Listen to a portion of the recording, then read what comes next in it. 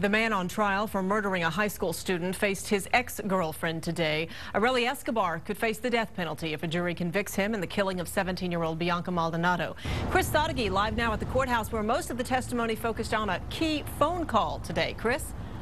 Yes, Leslie, it was a call that Escobar's girlfriend made to him, and when the line picked up, she said she heard a woman moaning and screaming. She began to get really concerned the next day when she saw the news reports. Those reports were that 17-year-old Bianca Maldonado, who lived in a nearby apartment complex, had been brutally raped and murdered. Right away, her suspicions about Escobar went up. Zoe Lopez is that girlfriend. She tried four times to call him the night of the murders. The fourth time is when the call connected, and she heard heard the screams. That went on for about four minutes. When she asked him about it later, she says Escobar told her he was watching a war movie.